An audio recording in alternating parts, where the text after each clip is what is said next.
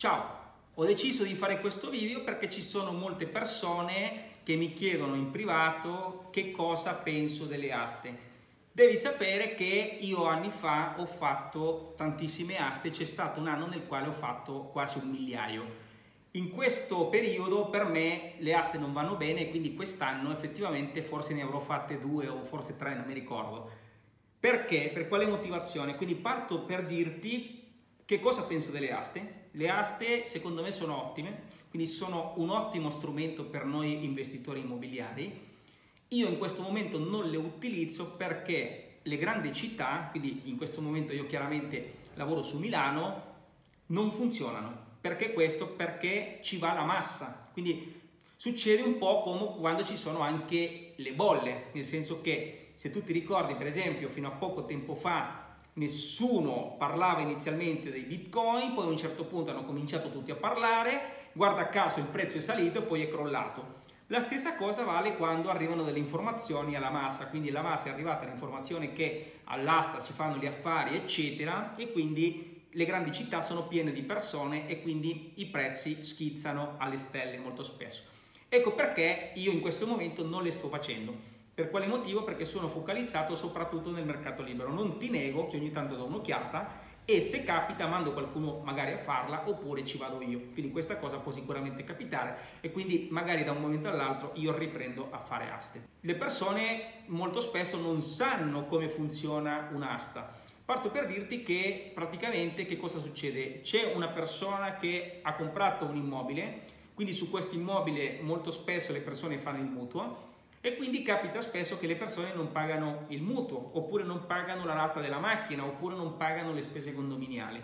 Quindi uno di questi soggetti può fare quello che viene chiamato un decreto ingiuntivo. Il decreto ingiuntivo praticamente dice a questa persona che deve pagare entro X tempo prima che avvenga una procedura giudiziaria che manda fondamentalmente la casa in asta e quindi che li fa rientrare del loro credito quindi debito del proprietario, credito del creditore.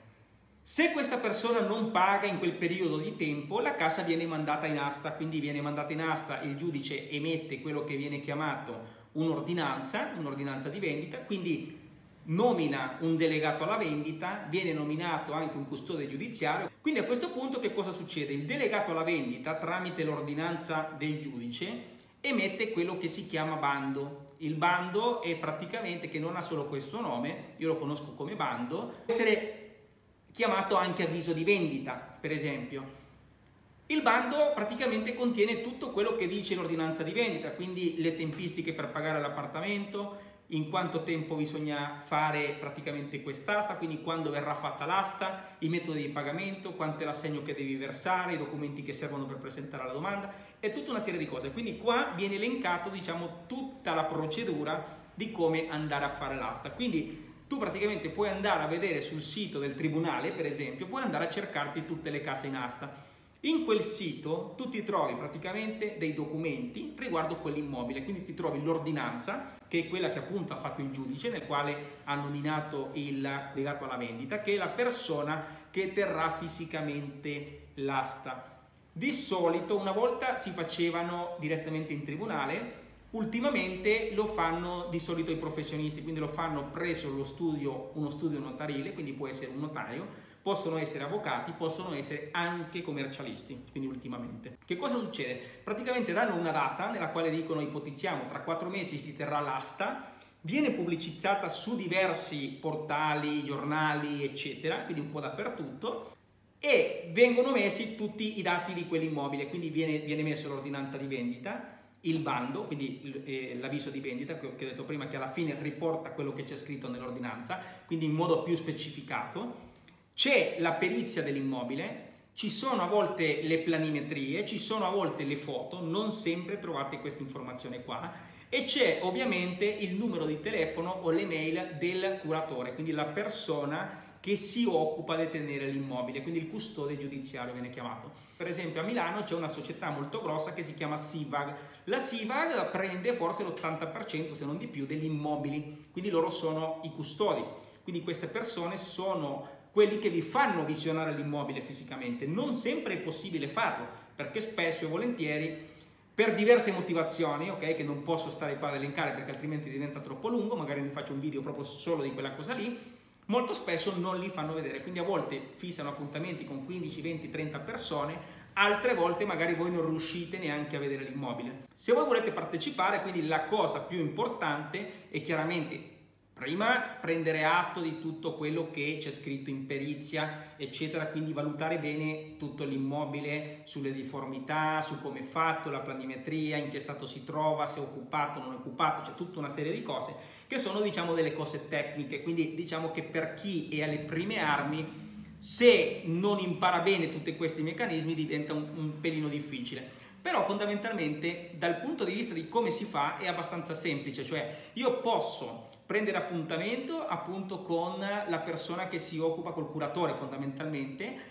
quindi con questa persona vado a visionare l'immobile, dopodiché posso fare un'offerta, quindi faccio la compilazione dell'offerta con tutti i dati dell'immobile, la dichiarazione che ho visionato, tutta la documentazione, ho visionato l'immobile, tutta una serie di cose e poi devo versare un assegno, un assegno che è caparra. Questa caparra se voi poi dopo vi tirate indietro viene trattenuta direttamente dal tribunale, non solo vi chiedono anche i danni.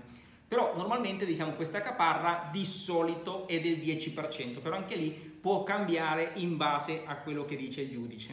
Quindi che cosa succede? Praticamente si compila l'offerta fondamentalmente e di solito si mette dentro una busta chiusa, quindi questo è per quello che riguarda l'asta senza incanto, viene chiamato, che poi in realtà se ci sono altri offerenti diventa con incanto perché aprono le buste e cominciano a fare una gara. Quindi a questo punto voi potete fare la vostra offerta che di solito è indicata appunto anche nel bando, quindi quant'è l'offerta minima. Ad esempio ultimamente è possibile fare delle offerte anche inferiori del 25% rispetto al prezzo base. Quindi ipotizziamo, io posso leggere in perizia un immobile che secondo il perito, quindi quello che ha fatto la perizia, costa 100.000 euro per un determinato motivo, ma mi è permesso fare il 25% del prezzo base. Quindi la casa probabilmente è già andata in asta altre volte e quindi magari parte da 50.000, nonostante il perito l'abbia periziato a 100.000. Quindi parte a 50.000, quindi questo è il prezzo base. Voi potete fare un'offerta al 75% del 50.000, ok? Quindi con uno sconto del 25%. Quindi questa offerta è ritenuta valida se non si presentano dei creditori, eccetera. Vi dico la verità, con me non si è mai presentato nessuno, non si è mai insinuato nessuno. Loro di solito vogliono prendere i soldi e quindi diciamo che a loro va bene così, la maggior parte delle volte.